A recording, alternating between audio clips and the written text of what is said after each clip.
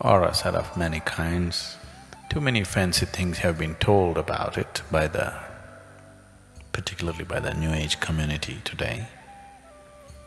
What you call as aura is even more superficial than the skin. If your focus is on the surface, you will have a miserable aura.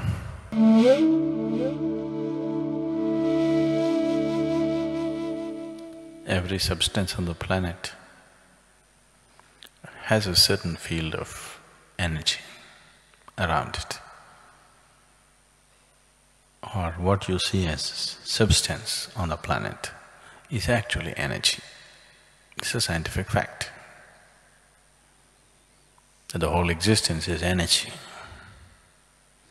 One part of the energy has manifested itself into a certain level of reverberation which makes it a physical form. Another part of the energy does not manifest itself into a physical form, but it still has a form.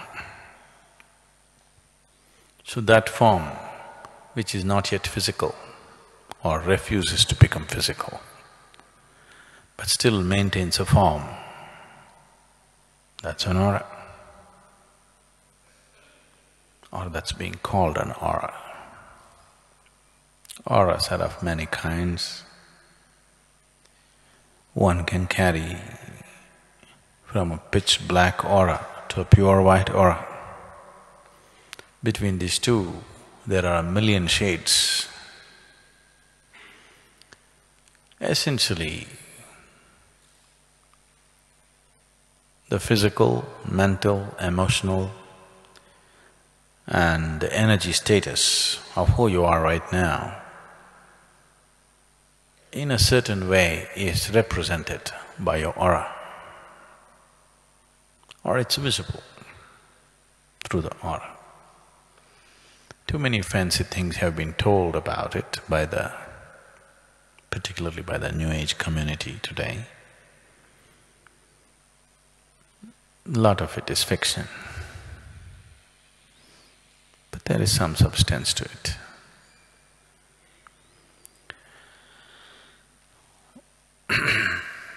I don't think uh, you should concern yourself about such things. Don't try to see people's aura. Aura is the periphery of the person. I would like you to look a little more at the core of the being rather than looking at the surface. Surface is for the doctors because uh, they want to fix some physical part that may be going wrong with somebody. Surface should not be the interest of a spiritual seeker. This is more surface than the skin.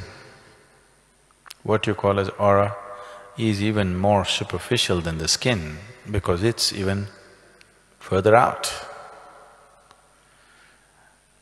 So it may have certain… if one has the necessary insight, may have certain… give you certain access to the nature of the person, but you're only looking at the psychological, emotional and physical structure of the human being. It is best people on the spiritual path ignore the aura, yours and everybody's, and focus on the core. If you're focused on the core, you will have a wonderful aura. If your focus is on the surface, you will have a miserable aura. So don't keep looking at other people's aura and your own.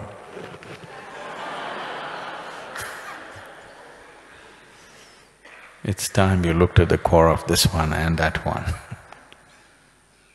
if you look at the core of this one, then naturally you'll see the core of everything because in core, this and that doesn't exist. In core, only this exists.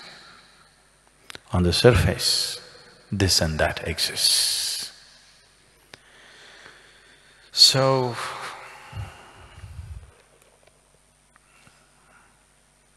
you know, people said beauty is skin deep. Yes, certain type of beauty is skin deep. You wouldn't like somebody with their skin peeled off. If you saw somebody's skin peeled off, you wouldn't think they're beautiful even if they're the same people. That way, yes. But aura is not even skin deep, it's not worth spending time on it. If you become conscious of the core, the surface may be just visible to you, but you trying to see and read people's auras is a stupid thing to do. You'll waste your life trying to do such things. If you're conscious, if your perception is enhanced, you may see things. It's good to see things which are there. If you start seeing things which are not there, that's… Uh, you have to… you're graduating from ashram to asylum. If lot of you go in that direction, we can transform the ashram into an asylum. Yes. So it's very important. we want to keep this as an ashram.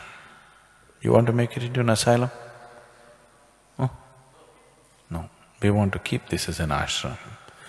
So please, if you want to keep this as an ashram, you must be focused on the core, not on the surface. Too much surface means uh, will make the place into an asylum. All kinds of nutcases who believe they are spiritual. There are too many like that on the planet. They are the biggest deterrent for other people to seek any spirituality.